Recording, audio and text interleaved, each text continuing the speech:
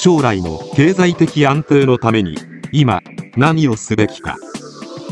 この意識を持つことが大変重要です。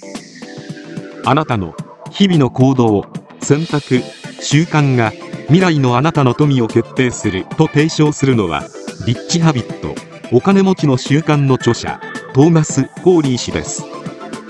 コーリー氏は年収1800万円以上かつ3億円以上の資産を持つ富裕層と年収400万円以下で50万円以下の資産しか持たない人たちの生活について5年間にわたり追跡調査を行いお金持ちの習慣とそうでない人々の習慣の生活パターンの違いを詳細に研究しました。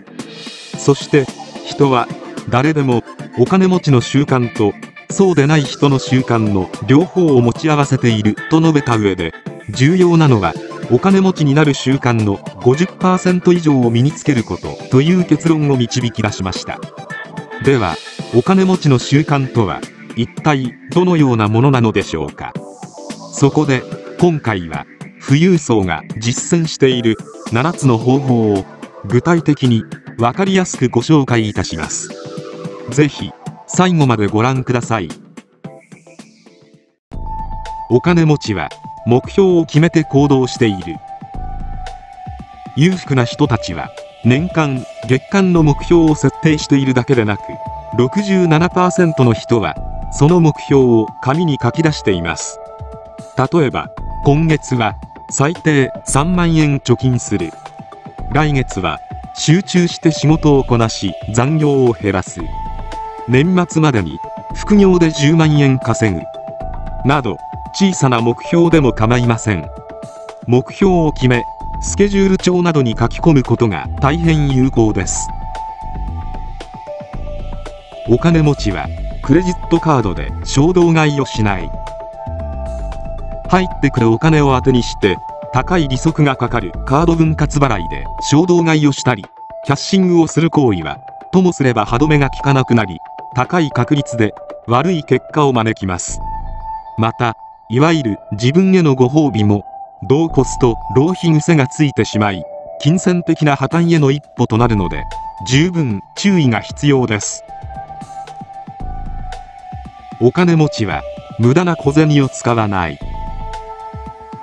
例えばコンビニや自販機などでペットボトルの飲料水を毎日1本買い続ければそれだけで年間5万円以上の出費になります。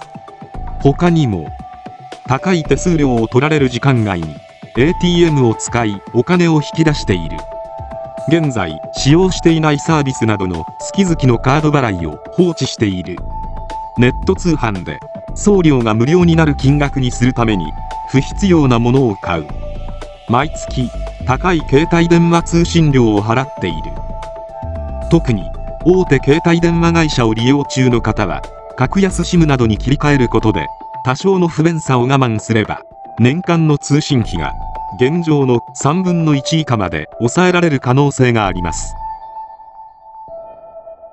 お金持ちはギャンブルはしない。ギャンブルは胴元が100%勝つシステムであり勝ち続けることは100%不可能だという事実を理解することが何よりも重要です。あくまでも息抜きやストレス発散での利用にとどめくれぐれも負けたお金を取り戻すなどといった破滅的な発想だけでギャンブルをすることだけは絶対に避けましょう。お金持ちはテレビを見ない。富裕層の人たちの会話にテレビの話題が出てくることはありません。もちろん全てのテレビ番組が害悪という意味ではありませんが大半のテレビコンテンツはあなたの思考を停止させスポンサー商品の大量消費を促す道具と化しています。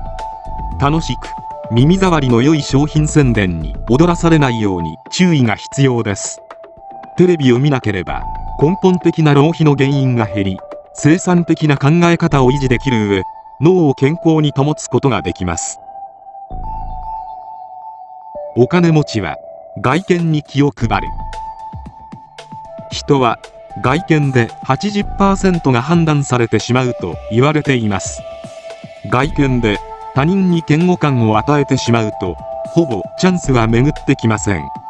髪型や服装清潔感口臭などは言うまでもありませんが言葉遣いや笑い方ジェスチャーなどの身の振る舞いもあなたの外見の一部であることを自覚しましょう。